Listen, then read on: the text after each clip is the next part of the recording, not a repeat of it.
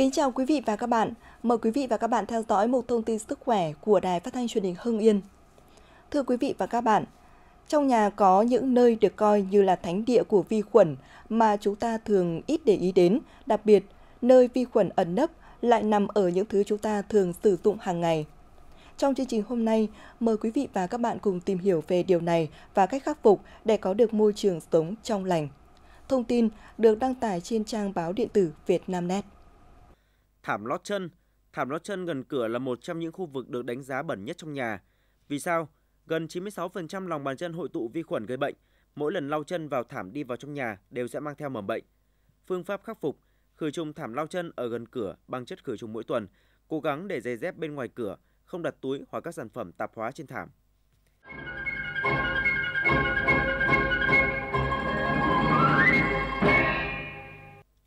Điện thoại di động Điện thoại di động là một trong những nơi nhiều vi khuẩn nhất mà con người vẫn đang hàng ngày tiếp xúc.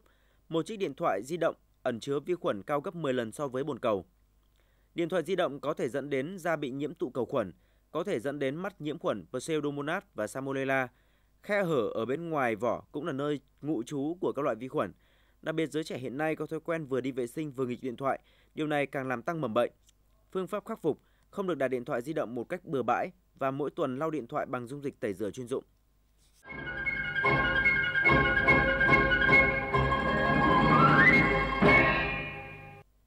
Máy hút bụi Nghiên cứu cho thấy rằng 13% máy hút bụi có vi khuẩn E. coli, có nghĩa là mỗi khi bạn sử dụng nó, bạn có thể lây lan vi khuẩn ở khắp mọi nơi. Phương pháp khắc phục tốt nhất là nên sử dụng máy hút bụi có túi chống bụi bẩn.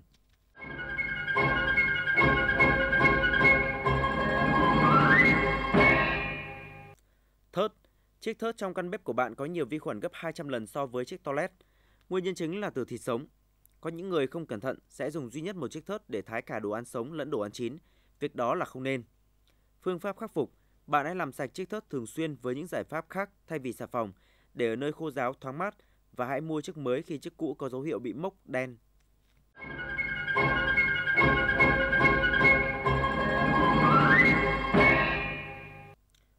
Chai lọ đựng gia vị nhiều người không rửa tay trước khi dùng giấm, nước tương, nước sốt cà chua và các loại gia vị khác có thể gây nhiễm trùng chéo. Phương pháp khắc phục lau bề mặt ngoài của chai gia vị thường xuyên và cố gắng không để cho dòng chảy gia vị vào chai.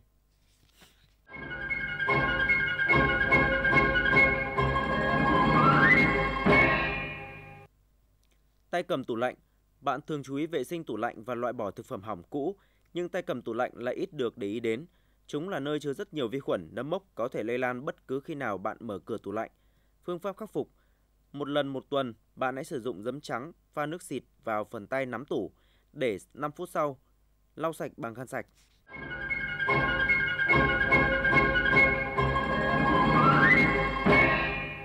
Bồn rửa bát Thật khó để tưởng tượng rằng có hơn 500.000 vi khuẩn trong bồn rửa nhà bếp, gấp 1.000 lần số lượng vi khuẩn trung bình trong nhà vệ sinh. Bạn rửa thực phẩm sống trong đó đổ thức ăn thừa xuống và để bát đĩa bẩn chất đống. Nó có thể trở thành nơi sinh sản rất nhiều vi khuẩn và bẩn nhất là phần lọc rác. Phương pháp khắc phục Xà phòng và nước không đủ để làm sạch, do đó bạn cần dùng nước chanh và giấm trắng và dùng bàn chải đánh răng đánh sạch ít nhất một lần một tuần. Để giảm thiểu sự lây lan của vi trùng, mọi người cần phải có những thói quen tốt như cởi bỏ giày trước khi bước vào trong nhà và rửa tay sạch sẽ sau khi đi vệ sinh hay chạm vào thực phẩm sống cũng giảm lây nhiễm vi trùng. Các chuyên gia thuộc Trung tâm Phòng chống và Kiểm soát Dịch bệnh Hoa Kỳ khuyến cáo nên thường xuyên rửa tay bằng nước sạch và xà phòng trong vòng từ 20 tới 30 giây để loại bỏ vi trùng và phòng chống bệnh tật. Chai nước rửa tay thường được đặt trong phòng tắm và khi bạn đi vệ sinh xong, nước rửa tay sẽ được sử dụng ngay lập tức và chai có thể bị ô nhiễm bởi vi khuẩn ở phân khi tay chạm vào vỏ chai. Tốt nhất là rửa tay trước khi đi vệ sinh từ 15 đến 20 giây dưới vỏ nước, sau đó mới lấy dung dịch rửa tay. Quý vị và các bạn thân mến, tới đây chúng tôi xin được kết thúc mục thông tin sức khỏe của Đài Phát thanh Truyền hình Hưng Yên. Cảm ơn quý vị và các bạn đã dành thời gian theo dõi. Xin thân ái chào tạm biệt và hẹn gặp lại trong những chương trình tiếp theo.